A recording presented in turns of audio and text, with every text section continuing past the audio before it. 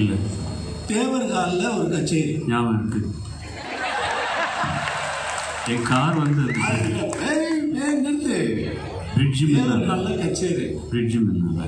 இவன் வந்து அப்போ தான் பா வந்துட்டு இருக்கான். அந்த எஸ்பி பாலு சார் வந்து அப்போ தான் ஃபிலிம்லலாம் பாடிட்டு நாங்கள் ஒரு இசைக்குழுவாக இயங்கிக்கிட்டு இருக்கோம் அண்ணனுடைய கச்சேரியெல்லாம் முடிஞ்சிடுச்சு. இது வந்து ஃப்ளாஷ்பேக் இது சொல்கிறாங்களா தேவர் காலில் இப்போ இருக்கா?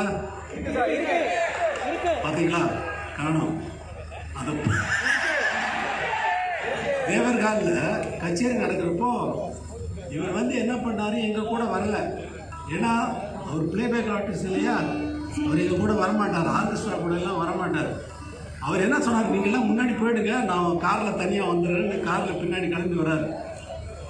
அங்கேருந்து அப்போ இங்கே வந்து சேர்கிறதுக்கு பத்து மணி நேரம் ஆகும். திருச்சி வந்து சேர்கிறதுக்கு வந்துட்டா ஆறு மணிக்குள்ள நான் வந்துடுறேன்டான்னு இவர் சொன்னவர் வராரு வராரு வராரு. ஏதோ வந்து கொண்டு இருக்கிறார் வந்து கொண்டு இருக்கிறார் நானும் சொல்கிறாங்க அது டிக்கெட் ப்ரோக்ராம் தேவர் ஹாலில் நாங்கள் இருக்கிற ஆட்களை வச்சு வாசுதேவன் லூகாஸ் வாசுதேவன் வச்சு கச்சேரி ஆரம்பிச்சிட்டோம்.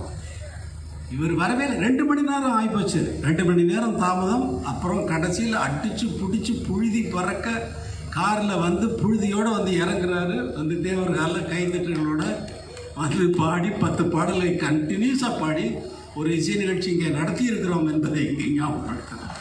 அதுக்கு இன்னொரு சின்ன விஷயம் நான் ஆட் பண்ணணும். ஒரு பர்மிஷன் இருந்தால் இது பிளேபேக் சிங்கராக இருந்ததுனால நான் காரில் வரல. அன்னைக்கு காலையில் வரல எனக்கு ரெக்கார்டிங் இருந்தது. அது அதனால வந்து என்னாச்சுன்னா அந்த அந்த பிரிட்ஜு முன்னால கார் பஞ்சர் ஆயிடுச்சு.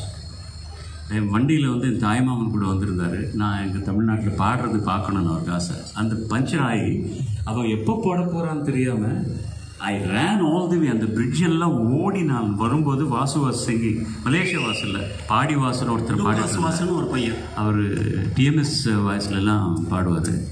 அவர் பாடிட்டு இருந்தார். வந்ததுக்கு அப்புறம் எப்படி பதட்டம்னா சொல்ல முடியாது. அது பட் அந்த கஷ்டங்கள் அந்த இஷ்டங்கள் எல்லாம் சேர்ந்து தான் இந்த வாழ்க்கை உங்கள் முன்னால் நாங்கள் ரெண்டு பேர் இருக்கோம். அந்த மாதிரி நினைவுகள்லாம் உனக்கு ஞாபகம் இருக்கான்னு சொல்லி நான் கேட்டேன் கேட்குறேன். எத்தனை ஊர்களில் நாம் இணைந்து பாடி செல்றோம்? எத்தனை